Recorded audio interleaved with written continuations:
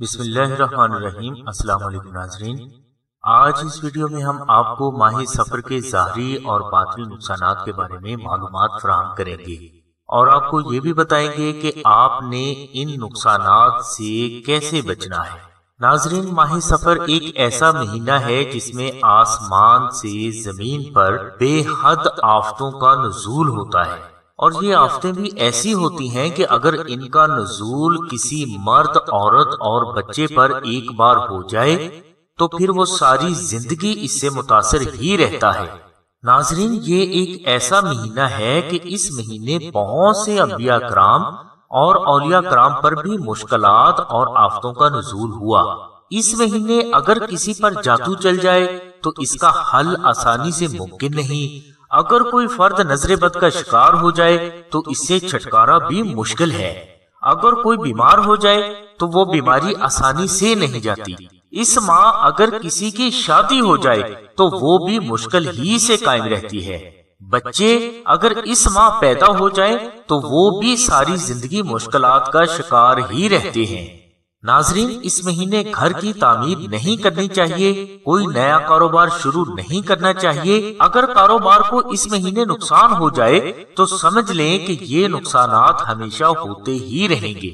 इसलिए इस महीने तमाम औलिया कराम ने सही सदका तो खैरात पर बेहद ज़ोर दिया है। यानी इस महीने आपको चाहिए कि आप अपना, अपने बच्चों का, अपने कारोबार का, अपनी इज़्ज़त आबरू का, वालदेन का और बहन भाइयों का सदका ज़रूर करें। इस महीने आसमानी आफतों से बचने के लिए आपको आयतल कुर्सी और दरुद इब्राहिम का विरद भी कसरत से करना चाहिए। अगर कोई फर्द माह सफ़र में नजूल होने वाली आफात से अपना और अपने बच्चों का तहफ़ चाहता है तो इसके लिए आप आस्ताना से वो लोहे इसमें आज़म मंगवा कर अपने पास रखें। जो रमज़ान शरीफ के आखिरी जुमा को तैयार की गई हो और इस पर इसमें आज़म का अमल भी मुकम्मल पड़ा गया हो। इनशाला इस लोहे इसमें आज़म की बरकत से आप और आपके बच्चे न सिर्फ़ माह सफ़र के अफातो बलियात से हमेशा महफूज रहेंगे, बल्कि इस लोहे इसमें आज़म की बरकत से आप हर किस्म के जादू टूने जिन्नात, साया असीब, नागहानी अफातो बलियात दुश्मन, हादसात, हासद, हसद, कर्ज, बीमारी, लाचारी, तंगदस्ती और बंदिश जैसे मामला से भी हमेशा महफूज रहेंगे। और यह अल्लाह फरमाते हैं कि लोहे इसमें आज़म फर्द की पैदाइश से मौत तक हर आफत से निजात और हर बीमारी से शफा है। लोहे इसमें आज़म चांदी की तख्ती पर तहरीर, लोहे पुरानी या लोहे इसमें आज़म का नक्श है। इसका हदिया लागत पंद्रह सौ रूपए है। अगर आप ये लौह हासिल करना चाहते हैं तो आप डिस्क्रिप्शन में दिए गए नंबर्स पर रहा करके पंद्रह सौ रूपए और प्लस डाक खर्च जमा कराएँ और इसी नंबर पर अपना नाम, अपनी वालदा का नाम और मुकम्मल एड्रेस लिखवाएँ या एसएमएस करें। इनशाला आस्ताना सिर्फ़ 24 घंटों में लोहे इसमें आज़म आपके मतलूबा एड्रेस पर पहुँचा देगा। अगर कोई फर्द पंद्रह सौ रूपए अफोर्ड नहीं कर सकता तो वो यही नक्श कागज़ पर मुझको जाफरान से तहरीर आस्ताना से मंगवा कर भी इस्तेमाल कर सकता है। जाफरानी नक्श हासिल करने के लिए आपको सिर्फ़ टीसीएस, यानी डाक खर्च दो सौ पचास रूपए अदा करना होंगे।